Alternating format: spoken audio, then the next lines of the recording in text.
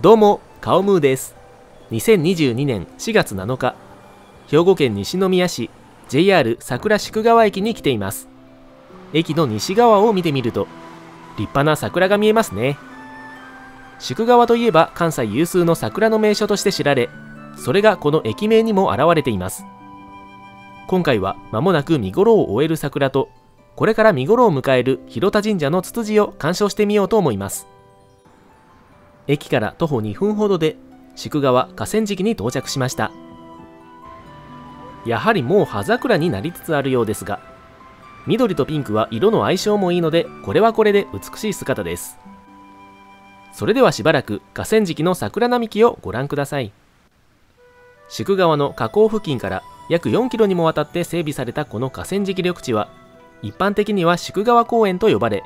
もともとは大規模な松林として知られていたところを1932年に公園として整備されました。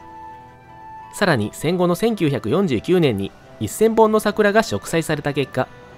このように立派な桜の名所に成長し現在では約1660本の桜と松林が楽しめる公園となっています。すぐそこを電車が走っているので車窓から大体の見頃も分かります。電車と桜の組み合わせもなかなかいいものですね。すでに桜吹雪が見られ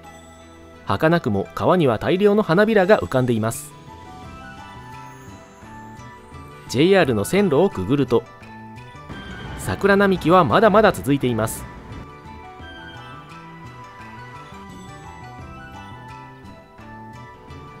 またこの対岸には片鉾公園という今は普通の公園があるのですが100年以上前の明治40年ここには航路園遊園地という関西最大級の遊園地が存在していました。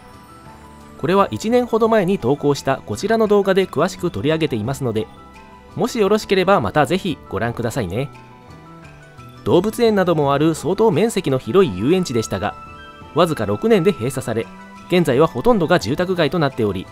その唯一の面影として残っているのがこの片鉾池です。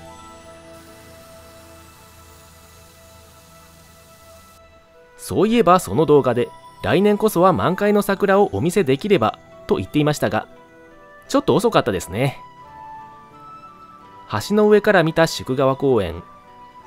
桜がそこだけまるで雪のように降っています。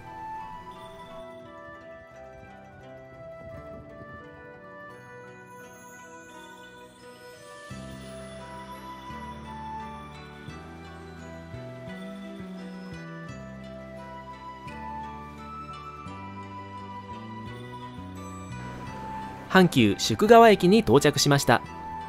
宿川は阪神間を結ぶ鉄道すべてが駅を設けとてもアクセスのいいところですが特に阪急は特急停車駅だけあって駅前にはいろんなお店の入るビルが立ち並んでいます。今度は阪急の駅の下をくぐるとこちらはすでに葉桜になっている木が多い印象ですね。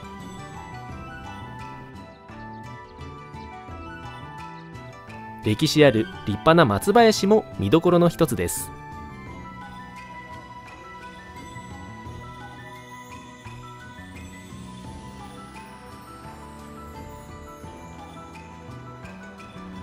川沿いをさらに北へ向かって歩いていると水車のモニュメントが設置されていました。江戸時代から明治中期にかけて西宮は全国有数の酒の名産地だったとのこと。今でも西宮といえば日本の清酒の約3割を生産する灘五号の一角を占める酒造地として知られています。明治時代の宿川はそのお酒を作るための水車が並ぶ風景だったようですね。北に行くにつれてまた満開に近い桜が見られるようになってきました。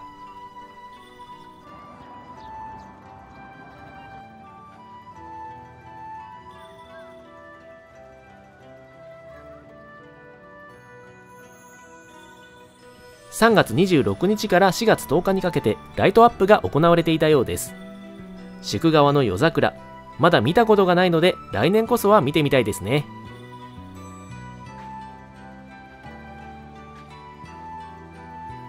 散りゆく桜ちょっともったいないですがこの後見られる若葉も緑鮮やかでとても美しくなるのでそれも楽しみです。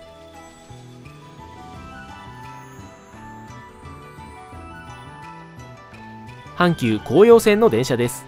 宿川駅から川沿いを高級住宅街で有名な紅葉園に向かって走ります。阪急電車と桜もよく合いますね。さて宿川公園を出て今度は広田神社のツツジを見に行ってみようと思います。しばらく住宅街の中を歩いていると大きな池が見えてきました。煮てこ筋。これは道路の名前で目の前にある池は煮てこ池というそうです。今回の散策でたまたま見つけたので急遽調べてみるとこれは室町時代西宮神社の塀を作るにあたってここから土を大量に掘り出した際にできたくぼみに雨水が溜まって池となったもの。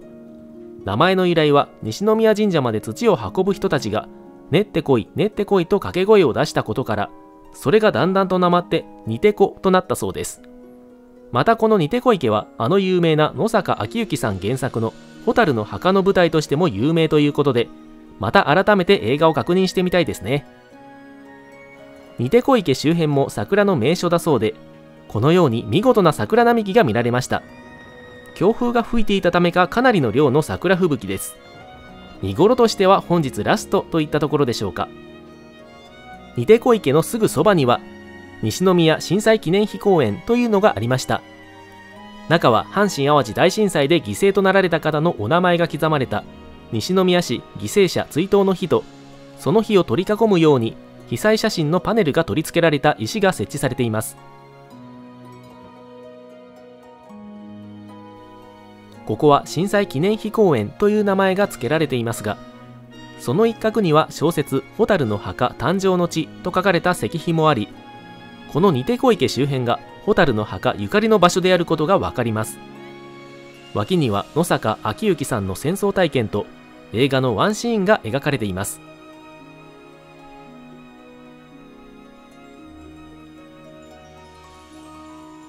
さらにその向かい側を見てみると一段と大きな塔が立っていました。慰霊塔と書かれています。こちらは1955年に戦争犠牲者の慰霊のために建てられたものでつまりこの公園は震災だけでなく先の大戦による戦没者を慰霊する場所でもあるようです。これも相当古そうないつからあるんでしょうね。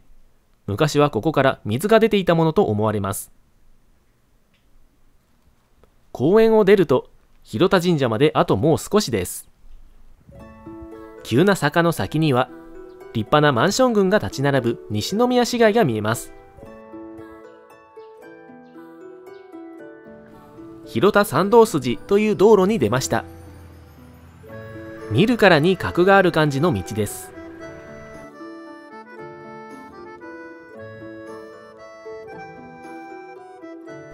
そしてついに見えてきました。西暦201年創建広田神社に到着です。鳥居の脇にはすでに美しいツツジの花が咲いています。これはよく見かけるあのツツジとは種類が違って小葉の三つ葉ツツジと言います。葉が小さいので名前に小葉のとついているようです。201年創建というのは神戸にある生田神社や永田神社と同じ年にできたということになり1800年以上の歴史があります。明治維新後は兵庫県内初の官兵大社。つまり最も格の高い神社に指定されるほどの古来から重要な神社として存在しています。また広田神社は京の都から見て西にあるため中世の貴族たちはここを西宮。広田神社を参拝することを西宮参拝と呼んでいたそうでそれが西宮の地名の由来にもなりました。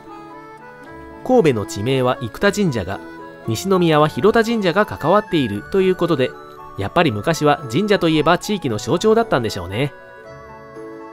今年は寅年ということで大きな虎の絵馬がかけられています。虎といえばここ西宮はプロ野球球団阪神タイガースの本拠地であり毎年シーズン開幕前になると監督や選手球団関係者がこの広田神社で優勝祈願することでも知られています。タイガースの酒樽もこのように奉納されていますね。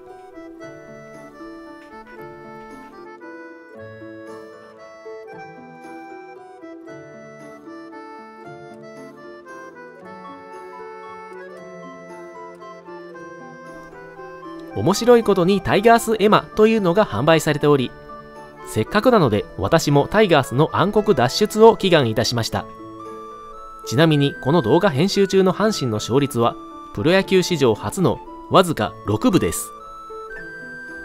それでは最後にこの広田神社外苑の広田山公園に群落する小葉の三葉ツツジを鑑賞してみようと思います。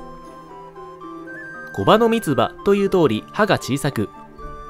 色はピンクと紫の間くらいといった感じでとても鮮やかですね。普段日常で見るツツジとは全然見た目が違います。兵庫県の天然記念物に指定されており約2万株も植栽されている小葉の三つ葉ツツジ。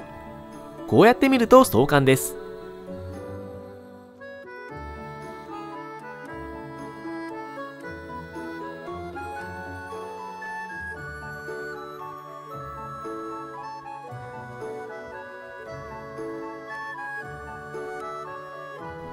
公園の入り口に戻ってきました。古代と現代の西宮がよくわかる地図が掲示されています。これは3世紀から4世紀頃の地図のようですが昔はここ広田神社も西宮神社も目の前が海だったようですね。今回は西宮ならではの春の風物詩を堪能することができました。広田神社の小葉の三つ葉ツツジは4月16日現在ちょうど見頃だそうです。ご視聴いただきありがとうございました。